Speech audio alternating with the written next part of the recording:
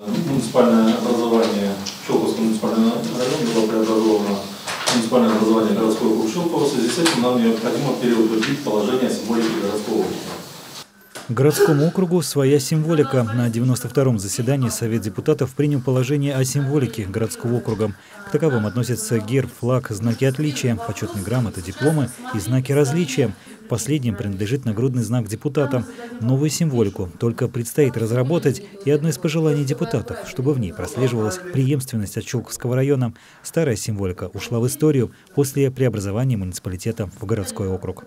Теперь мы ждем от администрации, когда она внесет нам уже непосредственно документы, которые будут описывать эти символы, как будет выглядеть герб, как будет выглядеть флаг, и потом Совет депутатов будет принимать решение. Стараемся, чтобы все это было привязано не к какому-то отдельному поселению, а, наверное, к символике э, Щелковского района, чтобы была такая преемственность.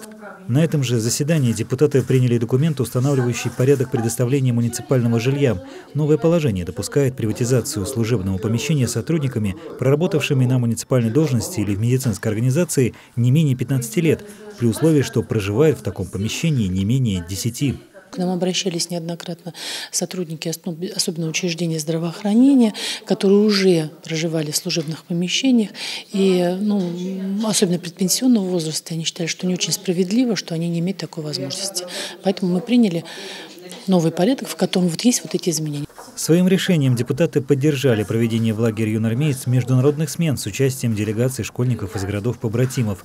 Теперь на эти цели предусмотрено финансирование. Те дружеские связи, которые возникают между детьми, то ощущение именно нашей страны детьми, которые приезжают из-за рубежа, оно стоит гораздо большего. Может быть, оно стоит того, что когда-то в какой-то момент именно этот человек примет правильное решение в рамках дружбы, а не в рамках конфронтации.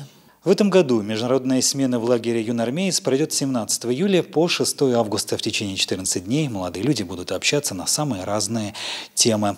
В этом году к нам приезжает около 30 человек. Михаил Налетов, Игорь Поляков, телерадиокомпания «Щелково».